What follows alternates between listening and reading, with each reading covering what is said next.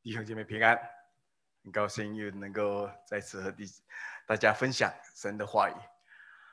如果有人问你，你和神的关系是怎么样的一个关系？你怎么回答？很有意思。神与人建立两种永恒的关系。今天我们来思考这个关系。这个关系从呃以赛亚书第五十五章三到五节，神在。主前主耶稣还没有降临之前，差不多七百多年前，已经向以色列人和世界宣告，他要和神和人怎建立怎么样的关系。我相信犹太人他本身他们也是搞不清楚。如果你说神的关系跟神，神是见仁见智，到底这个关系是怎么一回事呢？我们一起来看以赛亚书五十五章三到五节：你们当就近我来，侧耳听，就必得活。我必与你们立永约，就是应许大卫那可靠的恩典。我已立他向万民做见证，为万民的君王和司令。你素不认识的国民，你也必招来；素不认识你的国民，也必向你奔跑。都因耶和华你的神以色列人的圣者，因为他已经荣耀你。这段经文。的重点是在第三节。第三节他说：“你们当就近我，侧耳听，就必得活。我必与你们立永约，就是应许大卫那可靠的恩典。”这里我们注意有两个关系。第一个关系，你们当就近我，侧耳听，就必得活。这个是一个关系，是一个生命的关系。第二个关系，我必与你们立永约，就是应许大卫那可靠的恩典是。第二个关系是月的关系。好，我们来思考这句话。我们看到这个两个关系很有意思。第一个关系，生命的关系，你们当就近我来，侧耳而听，就必得活。希伯来文有一个字叫做 “nashem”，“nashem” 它没有翻译出来，“nashem” 就是你们的灵魂。如果你把这个这个字翻出来的话，就更清楚了。你们当就近我来，侧耳听，你们的灵魂就必得活。很有意思。等一下我们会再进一步的解释。第二个关系是立约的关系。他讲到，我必与你们立永约，就是应许大卫那可靠的恩典。这个可靠原文是阿门的恩典，阿门就是可信的，你可以相信，你可以依靠。的这个恩典，这个恩典原文是 Hesed，是神的慈爱。我们来思考第一种生命的关系。生命的关系，就业，诶啊，就业讲到神的应许，神要跟人建立两种关系。到了新月是成就，在新月成就，我们可以从约翰。福音第一章第十二跟十三节来看，十二节它是倒过来，第十二节说：“凡接待他、信他名的人，他就赐他们权柄做神的儿女。”这是什么？这是约的关系。你相信我，你相信我的话，我就给你权柄，怎么样做我的儿女？换句话说，这个是个交换条件，是双方面的。你相信我是神，你相信我是神所才来的，我就怎么样？我就让你接纳你。成为神的儿女。第二个是在第三节、十三节，这等人不是从血气生的，不是从情欲生的，也不是从人意生的，乃是从神。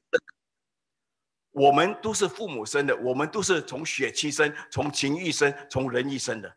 但是他说，这种人被神接纳的这种人，不是不单只是不是。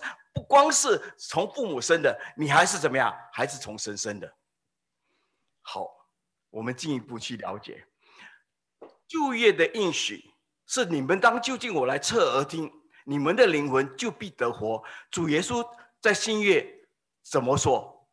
主主耶稣说：“我实在在告诉你们，时候将到，现在就是了。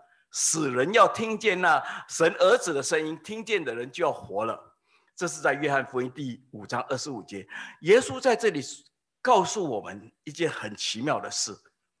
他说：“时候将到，现在就是了，因为我来了。”耶稣基督神的儿子来到世界，我来了。从现在开始，死人要听见神儿子的声音。这句话从字面上看起来很矛盾，死人怎么听得到神儿子的声音？谁是死人？所有亚当夏娃的后裔都是死人。为什么？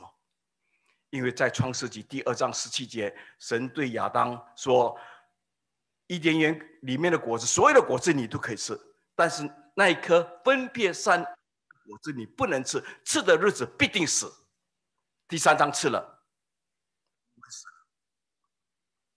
亚当夏娃的灵魂死了，所有亚当夏娃的后代，所有人的灵魂都死了，跟神的关系死了，神的灵。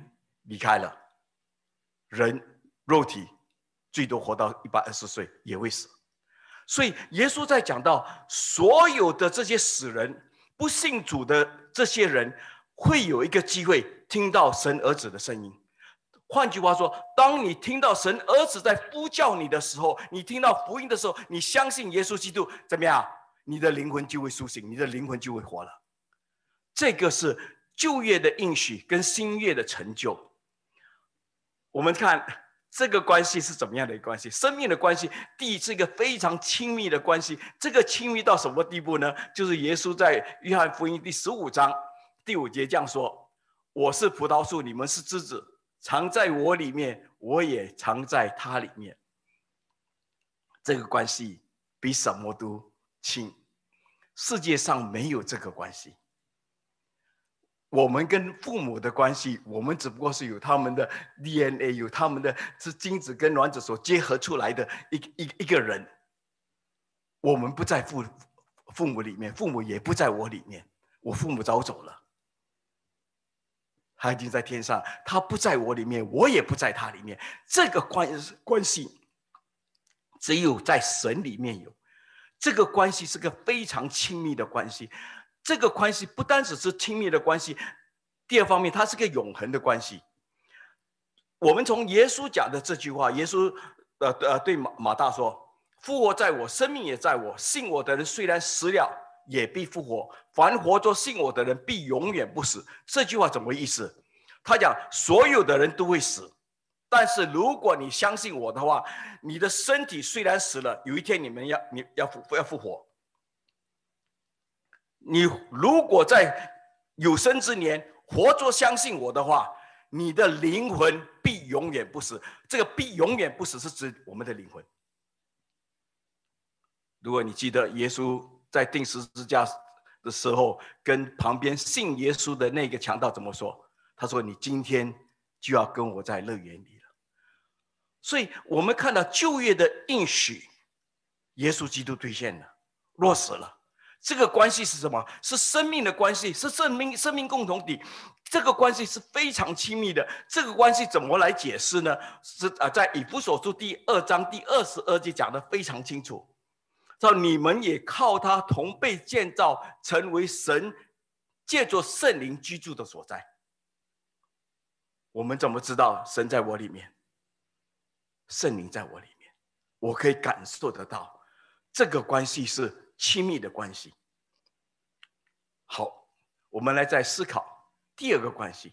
第二个关系，呃，第五十五章第三节是这么说：“我必与你们立永约，就是应许大卫那可靠可信的恩典。”这里讲到三方面：第一，他讲的是永永远的约；第二，他讲的这个是可以靠、可以信靠的；更重要的是什么？这个是跟大卫。所立的，在这里我们可以看到这个月的关系，耶稣基督也讲得很清楚了。在特别是在在守圣餐的时候，耶稣说：“这个血，这个这个杯，是我立约的血，为多人流出来的，使罪得赦。”生命的关系是连接，我们与神连接成为一体。月的关系是双方面的。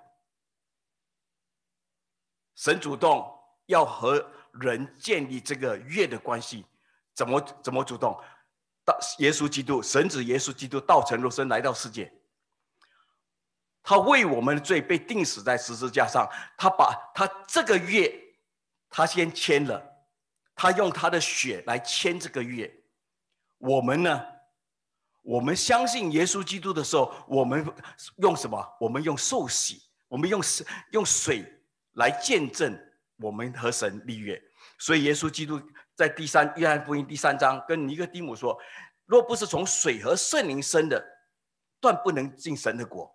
圣灵生的是跟神建立生命的关系，水的水呢是和神建立约的关系。”耶稣基督签了这个约，他说：“这是我立约的血，为多人流出来，使罪得赦免。”好，我们进一步去了解一下这个月的关系是怎么样的一回事。第，他讲到这个月是跟大卫立的，所以它是有历史的依据，是历史是历史性的 （historic），是依据大卫之月。和主耶稣基督的降生，耶稣基督在世上所行的一切事，他的死、他的复活、他的升天，这个是有历史证据依据的。这个 historic 很对我们来讲非常关键。为什么呢？因为我们所相信的耶稣基督不是一个呃，不是个小说，他是一个历史人物，他是有历史依据，是依据神和大卫所立的约。大卫的后裔耶稣基督，不单只是他是 historic。第二，神跟以赛亚说，这个是可可信的。他原文是阿门的，这个愿你可以阿门的，你可以相信的。为什么这样说呢？我们先看下面那那一章，这个是五十五章第四节。神说：“我已立他，就是耶稣基督，呃，向万民做见证，为万民的君王和司令。你素来不认识的国民，你也必招来；素不认识你的国民，也必向你奔跑。都因耶和华你的神以色列的圣者，因他父神已经荣耀你圣子。好，我们必须要了解，到底耶稣基督。”是怎么一回事？耶稣基督是父神所差来的，父神立他做见证，做什么见证？耶稣讲了一句话：“你们从地上把人子举起来，就要吸引万人来归我。”很奇妙的，这个可信靠的约什么意思呢？换句话是告诉我们：Look around，你看一看，就好像。希伯来书第十十十二章讲到，有我们有这么多的见证人人围绕着我们，你看一看，全世界各各个国种族的人都有相信耶稣基督的，为什么？因为耶稣讲的这句话：如果你们从地上把我举起来，就要吸引万人来归我。我们是中国人，我们所相信的耶稣基督是是从犹太教出来的。从有有有以色列那边出来的，为什么我们会相信？因为我们被耶稣基督的爱吸引，我们被耶稣基督吸引，这个吸引让我们怎么样？我们认为耶稣基督所讲的话可靠的，这个就是约翰福音第三章三呃三十三三十四节那边讲的，哦，就是他讲到，凡接待他，就是你当你相信耶稣基督的时候，你心里面会说这是可信的。第二方面，我觉得这一点比什么都重要。神立耶稣基督做万民的中保，这个是以赛亚书第四十二章第六节和四十九章第八节说的，很奇妙。旧约神讲了，神设立耶稣基督做中保，这个中保就是月的意思。